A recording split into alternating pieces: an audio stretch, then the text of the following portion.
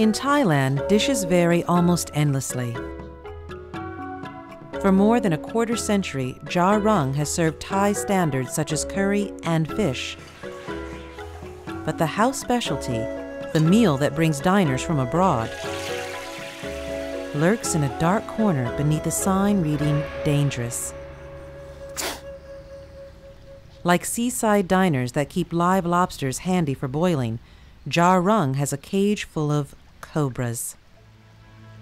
Cobra venom ranks among the world's most virulent poisons. One bite and a human can die in minutes. Yet to many Asians, the cobra's deadly nature makes it a potent meal.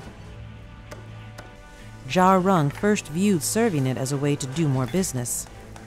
Customers preferred something different than the regular duck, chicken, and pork. As word of his menu spread, Ja Rung found his tables filling with customers from Hong Kong, Korea, and Japan, where people believe cobras have medicinal powers. He wondered what the attraction was. I found a Chinese book mentioning that to prove the medicinal powers of a snake, take three cobras a week. I ate three snakes within seven days. I could feel the result even before the third one. I felt energetic, vigorous. My eyes were sharper and my aches were gone. Eventually, I didn't need my eyeglasses anymore. He'd stumbled onto a magic recipe. But there was a hitch. Cobra meat fanciers want to eat snakes that are fresh and ferocious. The hard part is filling orders which puts Ja Rung in harm's way. He got so good at it, he became a minor celebrity. Steady customer Sombat Kongpadam is hungry for his favorite snake. But I used to have less hair, and since I've been eating snakes, my hair has grown back. So I got hooked.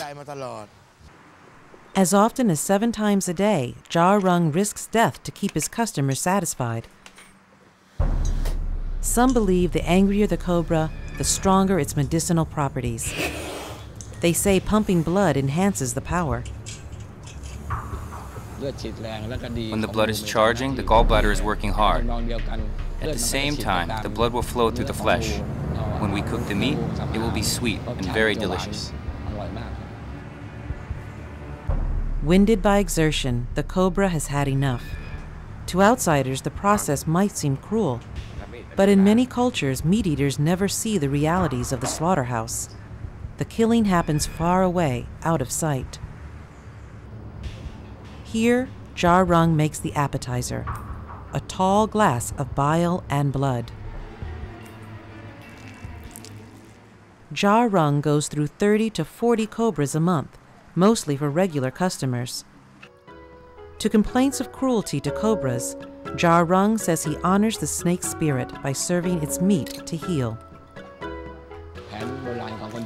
Some people, when they have illnesses, traditional Thai or Chinese doctors will prescribe them snake. If those people are cured, I'm doing a good deed, saving their lives.